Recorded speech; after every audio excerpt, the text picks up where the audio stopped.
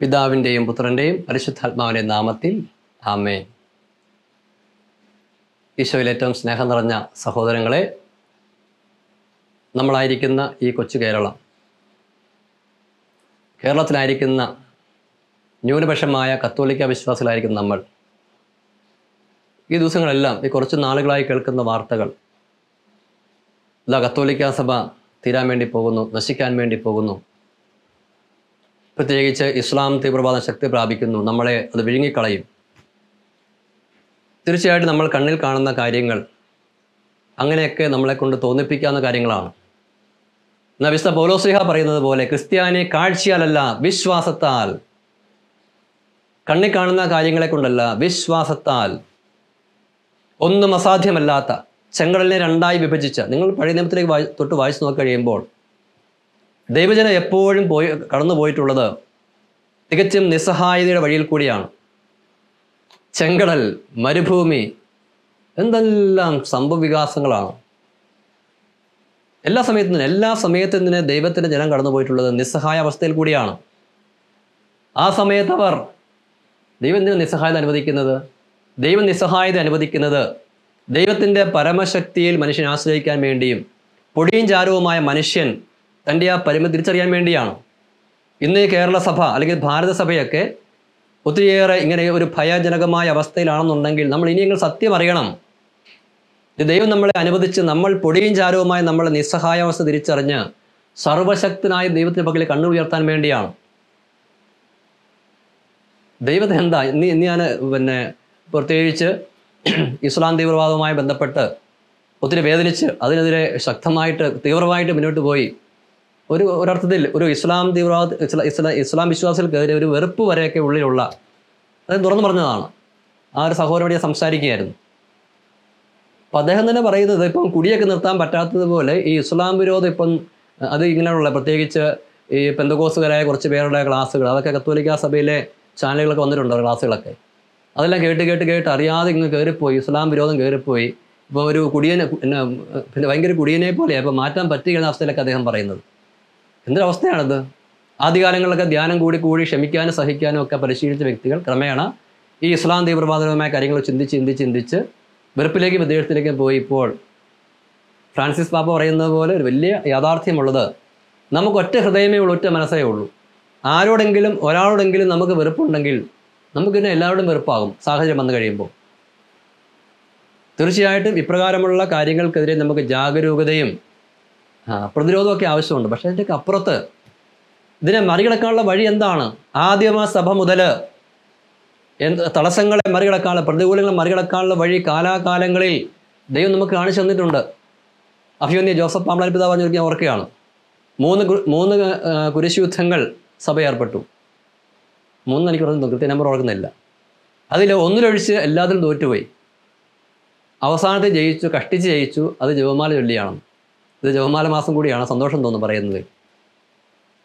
Muscle power കൊണ്ട് ജയിക്കാവുന്ന ഒരു രീതിയല്ല സഭയെ ദൈവം പടുത്തുയർത്തിയിരിക്കുന്നത് പത്രോസിനെ വാൾ ഉറയിലിടുക.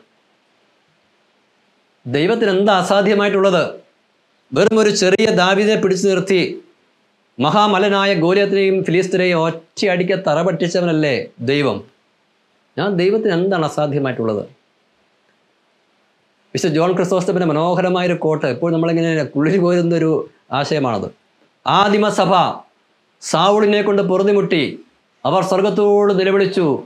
അപ്പോൾ ദൈവം പൗലോസിനെ അയച്ചു. അല്ലേ ലുവിയ എങ്ങനെ വിശ്വസിക്കാൻ പറ്റുമല്ലേ അപ്പോസലന്മാർ ആദിമസഭയിൽ കണ്ട ഏറ്റവും വലിയ അത്ഭുതം മരിച്ചു ഉയർക്കുന്നതായിരിക്കുകയല്ല. നേരെ മറിച്ച് പൗലോസിന്റെ മാനസന്ദരമായിരിക്കും തലേ ദിവസം വരെ ക്രിസ്തീയ സഭയെ ഏറ്റവും പീഡിപ്പിച്ച വ്യക്തി അടുത്ത ദിവസം തങ്ങളുടെ സഭയിലെ ഏറ്റവും മുന്നണി പോരാളിയായി പത്രോസിന്റെ ഒപ്പം കയറി നിന്നുകൊണ്ട് സഭയെ നയിക്കുന്ന കാഴ്ച സഭയെ കോരിത്തെരിപ്പിക്കുകയില്ലേ പ്രിയപ്പെട്ടവരെ? ദൈവത്തിന് എന്താ അസാധ്യമായിട്ടുള്ളത്? മൂന്നാം നൂറ്റാണ്ടിൽ പത്ത് മതമർദ്ദനങ്ങളിലൂടെ കത്തോലിക്ക സഭ വേദനിച്ച് വേദനിച്ച് രക്തസാക്ഷികളുടെ ചുടുനിണത്തിൽ മുങ്ങിക്കുളിച്ച് നിൽക്കുമ്പോൾ കോൺസ്റ്റന്റിനെ എന്ന ചക്രവർത്തിയെ ആരാ മാനസാന്തരപ്പെടുത്തിയത്? സ്വർഗം നേരിട്ട് മാനസാന്തരപ്പെടുത്തിയതാണ്. സ്വർഗം നേരിട്ടിറങ്ങി വന്നതാണ്. അന്നോടുകൂടി റോമാ സാമ്രാജ്യത്തിൽ ആക്രമിക്കപ്പെട്ടിരുന്ന സഭ പിറ്റേ ദിവസം അതിന്റെ ഔദ്യോഗിക മതമായിട്ട് മാറി.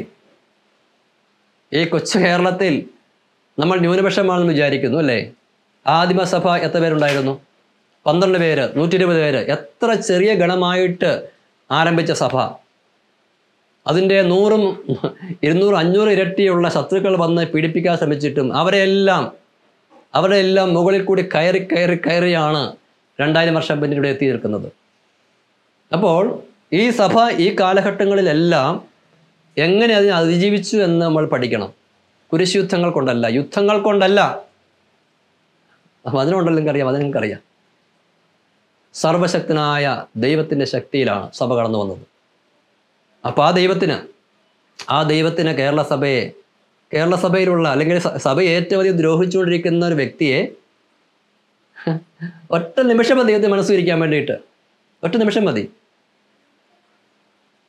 ഞാൻ ഇന്നലെ അവരോടൊക്കെ പറയുമായിരുന്നു ദൈവത്തെ ഒറ്റ നിമിഷം മതി മനസ്സുരിക്കാൻ വേണ്ടിയിട്ട്.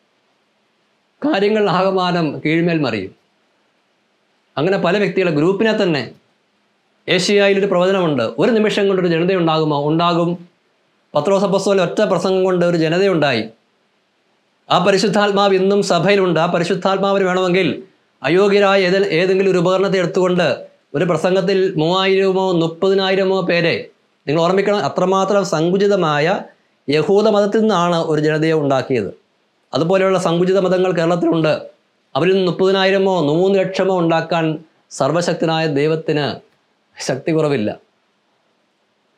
പിന്നെ കൂടെ എപ്പോഴും പറയും നമ്മൾ ഈ കേരളത്തിൽ ജീവിക്കാതെ ഇന്ത്യയിൽ ജീവിക്കാതെ നമ്മൾ ദൈവരാജ്യത്തിൽ ക്രിസ്തുവിൽ ജീവിക്കണം. കൊളോസസ് ലേഖനത്തിൽ പറയുന്നുണ്ട് നിങ്ങളുടെ ജീവിതം ക്രിസ്തുവിൽ നിഗൂഢമായിരിക്കുന്നു. നമ്മൾ നമ്മളുടെ ഈ കൊച്ചു നാട്ടിലും കേരളത്തിലുമൊക്കെ അങ്ങനെ ഈ ഭൗതികമായ കാര്യങ്ങളിലൊക്കെ കുടുങ്ങിടക്കുകയാണ് മനസ്സ് ഹൃദയമൊന്നും ഇപ്പോഴും ഈശോയുമായിട്ട് ലിങ്കിലല്ല.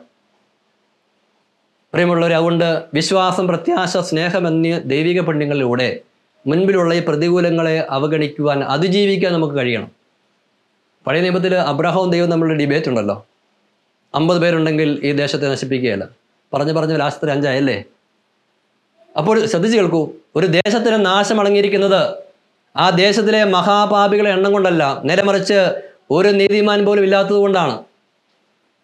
അങ്ങനെ ദൈവം പറഞ്ഞത് ഈ ദേശത്ത് മുഴുവൻ മഹാപാപികൾ മഹാപാപികളുള്ളൂ നശിക്കുന്നല്ല പറഞ്ഞത്. ദേശത്ത് നീതിമാന്മാരുണ്ടെങ്കിൽ കുറച്ച് നീതിമാന്മാരുണ്ടെങ്കിൽ ആ നീതിമാന്മാരെ പ്രതി അവരിലൂടെ അവരെ മുന്നിൽ നിർത്തിക്കൊണ്ട് ദൈവം വിജയിക്കും. ആ നീതിമാൻ ഞാനും നിങ്ങളുമായി കൂടെ ഈ കേരളത്തിൽ ഞാനും നിങ്ങളും നീതിമാന്മാരെ കഴിഞ്ഞാൽ നമ്മളിലൂടെ അബ്രഹാത്തിന്റെ ഇസ്ഹാക്കിന്റെ യാക്കോബിന്റെ ദൈവത്തിന് ഈ കേരളത്തെ തന്റെ സ്വന്തമാക്കാൻ പറ്റുകയില്ലേ? പറ്റും. അതുകൊണ്ട് വാസ്തവത്തിൽ ഒത്തിരി പാപികളല്ല ഈ കേരളം നശിപ്പിച്ചുകൊണ്ടിരിക്കുന്നത്. നീതിമാന്മാരൻ ആകാൻ വേണ്ടി പ്രത്യേകം വിളി ലഭിച്ച ഞാനും നിങ്ങളും ആ ഒരു വിളിയിൽ വളരാത്തത് കൊണ്ടാണ് ഈ കേരളം ഇപ്രകാരമായിരിക്കുന്നത്. കണ്ണ് തുറപ്പിക്കേണ്ടതാണ് നമ്മൾ കണ്ണ് തുറപ്പിക്കേണ്ടതാണ്. അതുകൊണ്ട് ഇസ്ലാമിനെതിരെയോ പെന്തക്കോസാർക്കെതിരെയോ അവർക്കെതിരെ ഇവർക്കെതിരെ യുദ്ധം ചെയ്യാതെ നമുക്ക് നമ്മോട് തന്നെ നമ്മുടെ സ്വാർത്ഥതയ്ക്കെതിരെ യുദ്ധം ചെയ്ത് യേശു ക്രിസ്തുവിനെ നമ്മളിലേക്ക് ഇറക്കിക്കൊണ്ട് ദാവീദിന് എന്നതുപോലെ നമ്മൾ ചവിട്ടി നിന്നുകൊണ്ട് യുദ്ധം ചെയ്യുവാൻ ഈശോയ്ക്ക് സാധ്യമാകേണ്ടത് നമ്മൾ നമ്മളെ വിട്ടുകൊടുക്കണം. പ്രിയമുള്ളവരെ അങ്ങനെ ഒരു ഉപകരണമാകാൻ വേണ്ടി നിങ്ങൾ എനിക്ക് വേണ്ടി പ്രാർത്ഥിക്കണം.